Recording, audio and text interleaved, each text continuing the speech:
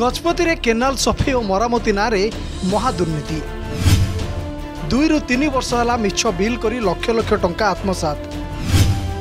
ବାସ୍ତବରେ ସଠିକ୍ ଢଙ୍ଗରେ ନା ଦଳ ସଫା ହେଉଛି ନା କଢ଼ାଯାଉଛି ଅଳିଆ।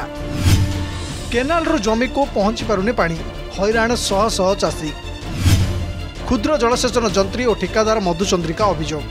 ଏ ଦେଖନ୍ତୁ ଛୋଟ ଛୋଟ ଗଛ ଘାସ ଆଉ ଦଳରେ ପୋତି ହୋଇଗଲାଣି କେନାଲ।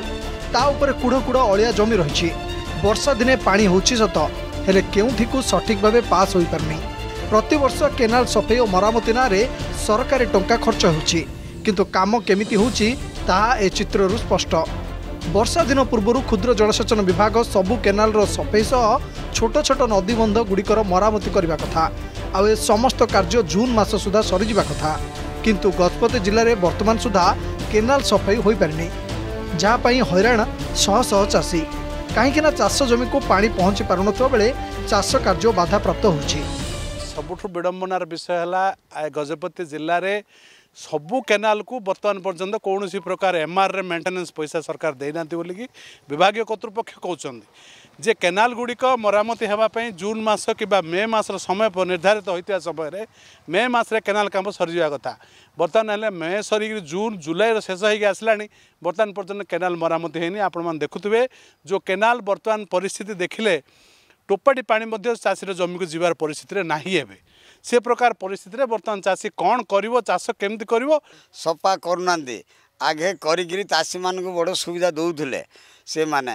ଏବେ ଆଉ ଅଫିସର ମାନେ କିଛି କରୁନାହାନ୍ତି। ଗତ ବର୍ଷ କରିବି ବୋଲିକିରି କୋକିଲେଟା ଘିନି ଆଣିଲେ ସେ ବାଟିଆ ଉପରେ ରଖିଦେଲେ ଚାରି ଦିନ ଛଅ ଦିନ ତାପରେ ଆଉ କିଛି କରିନାହାନ୍ତି ଆଜ୍ଞା। ଆପଣମାନେ ଆଉ ଅଫିସର ମାନେ କୌଣସି କାମ ଆଉ କରୁନାହାନ୍ତି ସବୁ ଟଙ୍କା ସେଇଟା ସରକାର ଦେଉଥିଲେ ଏମାନେ ଖାଉଛନ୍ତି ପକେଟରେ ପୁରେଇ ଦେଉଛନ୍ତି ଆଜ୍ଞା।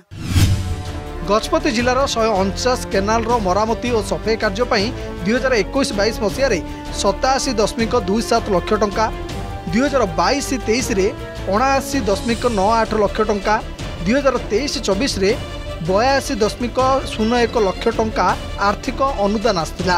ହେଲେ ଏସବୁ ଟଙ୍କା ସଠିକ୍ ଢଙ୍ଗରେ ଖର୍ଚ୍ଚ ନ ହୋଇ ବିଭାଗୀୟ ଯନ୍ତ୍ରୀ ଓ ଠିକାଦାରଙ୍କ ମଧୁଚନ୍ଦ୍ରିକାରେ ସରକାରୀ ଅର୍ଥ ଆତ୍ମସାତ କରାଯାଇଥିବା ଅଭିଯୋଗ କରିଛି ଗଜପତି ଜିଲ୍ଲା ବିଜେପି କୃଷକ ମୋର୍ଚ୍ଚା ସଭାପତି।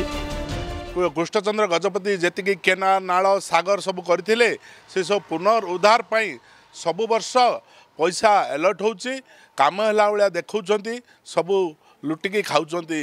ଏ ପ୍ରଶାସନ ଆଉ ଠିକାଦାରମାନଙ୍କ ଭିତରେ ମଧୁଚନ୍ଦ୍ରିକା ଚାଲିଛି।